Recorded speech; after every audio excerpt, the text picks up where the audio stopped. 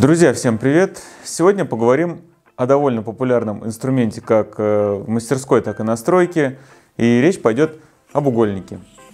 В этом видео я буду использовать вот такой дешевый угольник, расскажу некоторые лайфхаки и попробую расширить его функционал. И выжать из этого инструмента, который я, кстати, купил всего за 130 рублей, максимум пользы. И прежде чем начать работать, надо проверить его точность. Смотрите, как проще всего это сделать.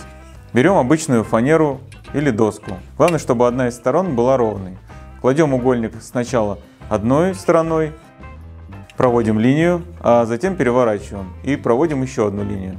Если линии получились параллельно, то могу вас поздравить, ваш угольник показывает точно. Если нет, то слегка постукивая можно попробовать его откалибровать.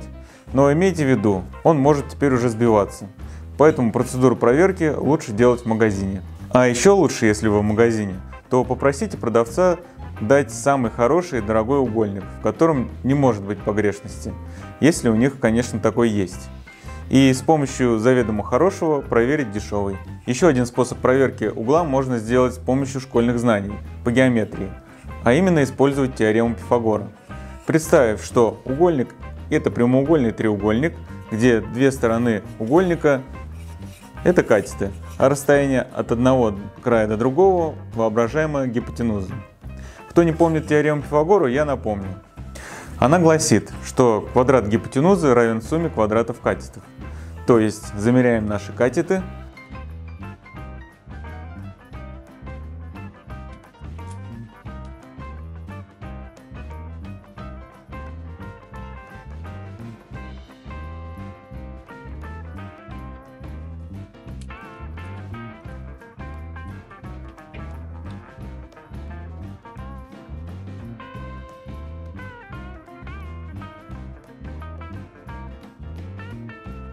подставляем формулу и вычисляем гипотенузу.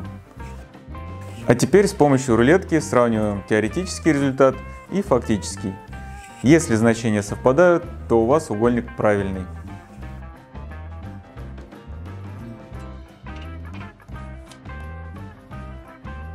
Вот этот угольник позволяет э, в стандартном исполнении размечать угол 90 градусов и 45. Но если немного доработать его, то можно брать любой часто используемый вами угол. Для этого единожды нам надо будет отложить нужные нам углы с помощью транспортира. Я возьму 15 градусов, 22,5, 30, 31,6 и 60 градусов, так как ими чаще всего приходится пользоваться.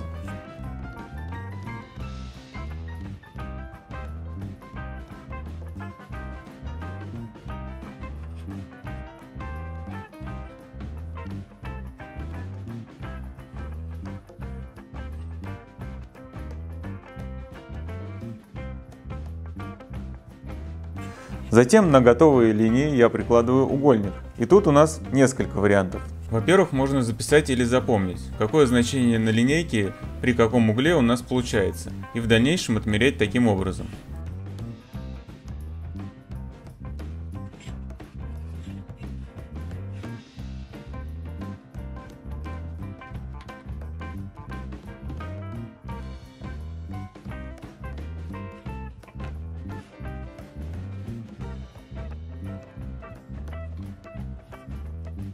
Либо, сопоставив угольник на нужный угол, нужно провести линию по основанию, и тогда не нужно запоминать или искать записи со значениями. Все получается наглядно, есть даже такие варианты в заводском исполнении. Стоит в 10 раз дороже, а кто захочет, может купить и готовый. Даже на Алиэкспрессе нашел, ссылку оставлю в описании, может кому пригодится.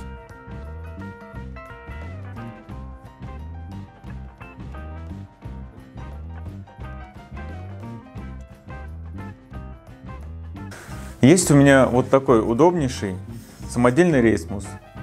Нужен он для разметки, например, листового материала или для разметки доски вдоль. Его фишка в том, что им можно брать размеры до миллиметра, но это не всегда нужно. И так как э, размечать им очень удобно, а тема у нас сегодня про угольники, то попробуем прокачать наш дешевый угольник. Для этого каждый сантиметр делаем маленькие отверстия.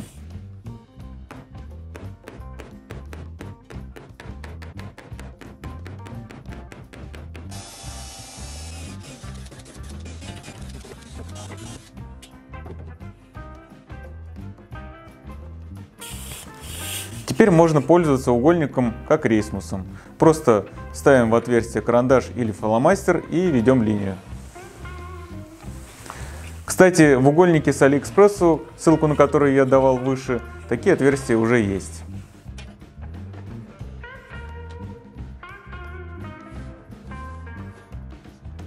А вы знали, что с помощью угольника можно начертить ровный круг?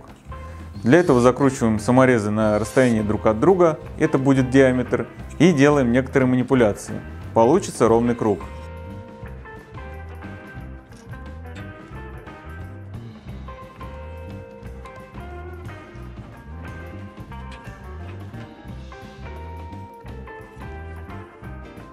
Еще один способ прокачать угольник. Для этого нам понадобится линейку, которую мы прилепляем к угольнику. Вот таким образом.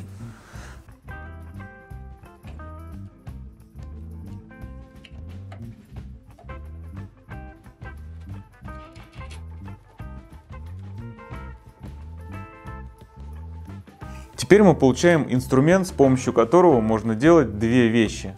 Размечать центр круглых заготовок и размечать на материале угол 45 градусов.